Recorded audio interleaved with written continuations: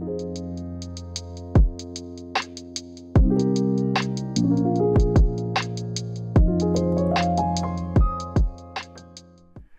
guys, welcome back to the Pressing Matters. I'm Scott. Thank you for tuning in today and thank you for your support.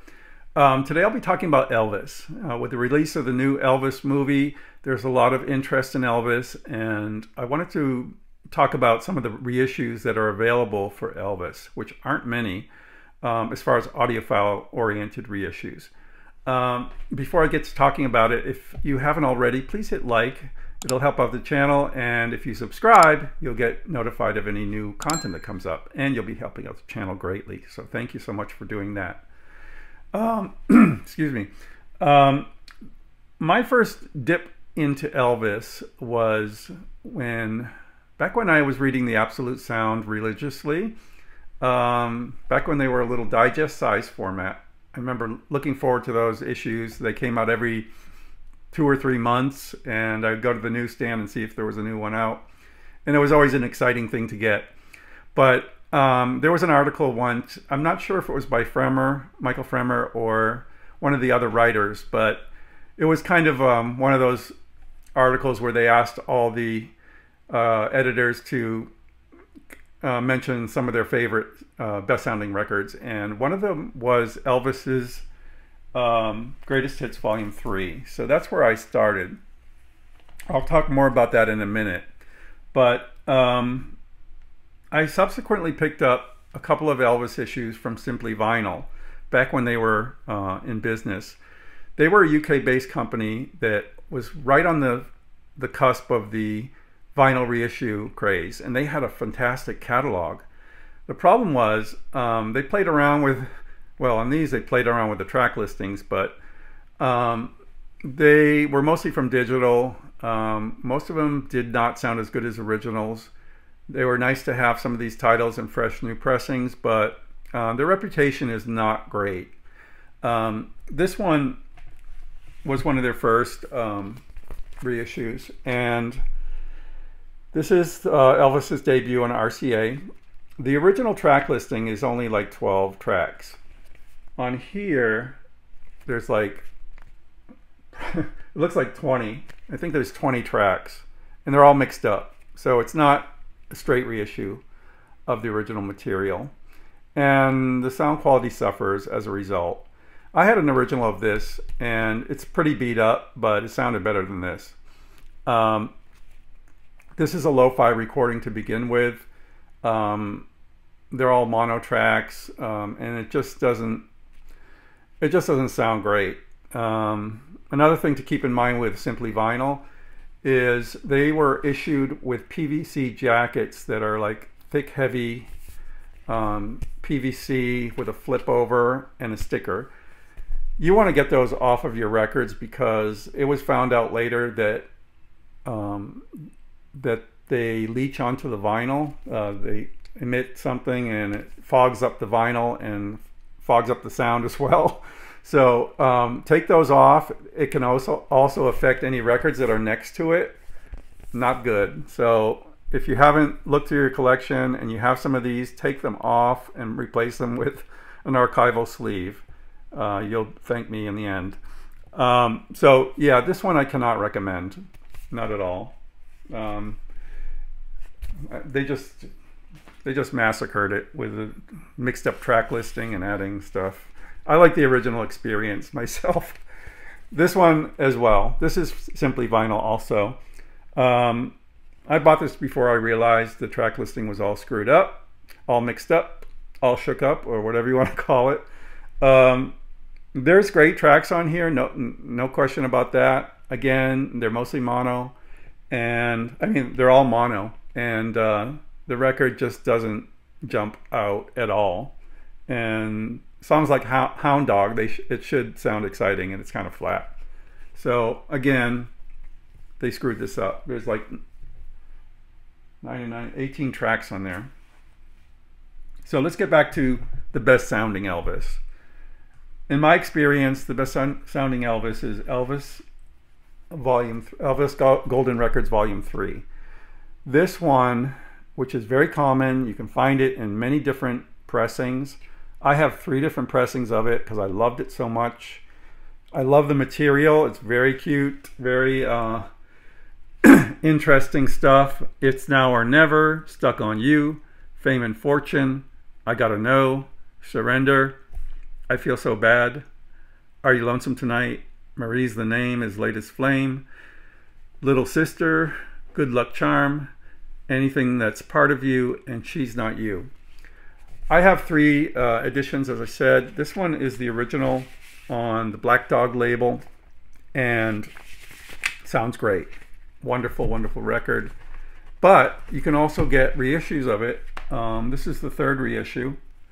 And uh, I see it has a price sticker. It gives us a little idea of the time frame of this. It says suggested retail price 698 from a company, uh, a store called Record Bar uh, on sale for 5.99. Um, this is the, I think it's the third reissue. It's also on a black label, but the dog is on the side and it has the modern RCA logo. Also sounds really good. Um, I also have an orange label one that's sort of in the middle of these two, and that sounds great too. Um, this one's highly recommended. Um, if you just want to dip your toe into Elvis, this is a cost-effective way to get some of the best sounding tracks. Um, and you shouldn't probably pay more than $20 for a nice copy of this. So keep an eye out for Elvis's Golden Records Volume 3. That's um, RCA LSP 2765. So for audiophiles, the, really the first audiophile oriented uh, reissue was this one from Analogue Productions and it was a big deal. Um, George Marino took all the tracks, remastered them. It's reissued in a 3 by 45 format. So there's three albums in this set, uh, three records in this set. Um, it was back when they were doing the single sleeve, which I'm not crazy about, but um, it's really the sound that matters. Um, I think there was a booklet in here too. Uh, there's a, a, sheet with an essay. But um, you know, they, they keep the original Black Dog label. And what's mono is mono, what's stereo is stereo, I think. Hmm. I'm not sure about that. I think some of these cuts are mono. They must be. But um, the, the prime tracks, which I'm talking about the prime sounding tracks from Golden Records, they sound incredible on here. Um, things like, let's see, Stuck on You, It's Now or Never, Are You Lonesome Tonight is, oh, I see, they, they are mono and stereo. They just had the living stereo uh, banner for the whole record. But um, the early tracks like Heartbreak Hotel, Love Me, Don't Be Cruel, Hound Dog, Big, Big Hunk of Love, All Shook Up, uh, Teddy Bear, Jailhouse Rock, and Wear My Ring Around Your Neck are all mono. So that's the first record. The, the other two records are stereo. So in stereo, you get Love Me Tender, Stuck on You, which is on uh, volume uh, Golden Records Volume 3. It's Now or Never, Are You Lonesome Tonight, which is drop dead gorgeous. I mean, it is incredible. I wish they would had released that as a single 45 that would have been incredible um, but there's if you know the song there's a lot of uh, there's a section where he's just talking and you can hear uh, it's just it's just incredible it's like he's right there you can hear the space in the studio the emotion in his voice it's a nice cut um, also it has surrender marie's the name little sister which you can't help uh, loving. It's great. Um, can't help falling in love. Good luck charm. She's not you. Return to sender. And then uh, Devil in Disguise, Crying in the Chapel, and In the Ghetto, and Suspicious Minds. So the later cuts are okay. Um, my favorite are the middle cuts, like the ones that are here on volume three. But this record was done very, very well. Um, everything sounds pretty much better than any other pressing that I know of. Um, but uh, it's $75 uh, when it's new.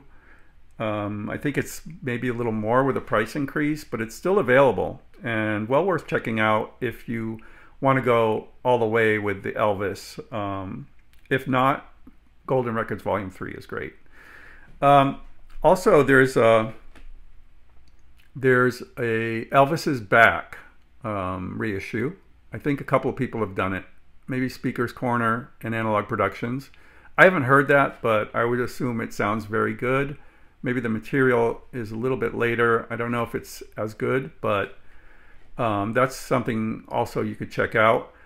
Um, and upcoming will be the one step of uh, Elvis in Memphis. So that's going to be really interesting. And I have a pre order in for that. I definitely want to check that out.